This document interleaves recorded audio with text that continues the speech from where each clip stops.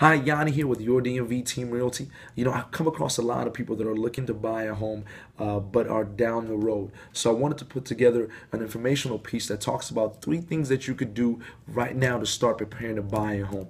Uh, number one is strengthen your credit score. Uh, okay, right now it, it, a lender is looking at a minimum of 640 to get qualified for for uh, for a loan. The higher the better, obviously.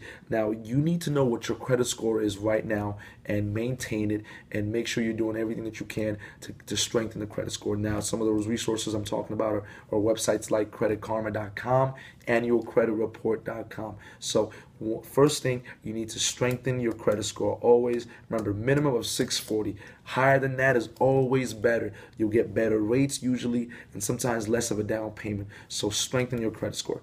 Number two is start saving for the down payment and closing cost. Now, down payment, a minimum of 3.5% usually. Now, those things are subject to change, but a minimum of 3.5%, the more the better, obviously. It's whatever you're, you're comfortable with. But start saving for the down payment.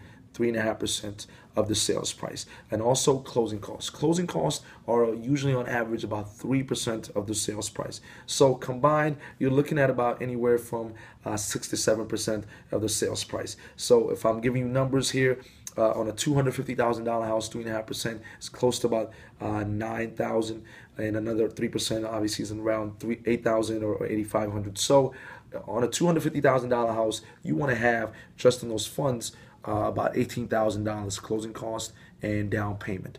Uh, so we got fi fix the credit score, strengthen your credit score. Number two, you want to um, uh, save for down payment and closing costs. And number three is pay down your debt. Now, I guess obviously that goes down in in line with um, with the credit score, but pay down all the debt that you can. I'm talking about credit cards, uh, car loans. Um, uh, student loans. Okay, one of the factors that that uh, lenders look at is the the income to debt ratio, basically how much you make versus how much income, uh, how much debt that you have.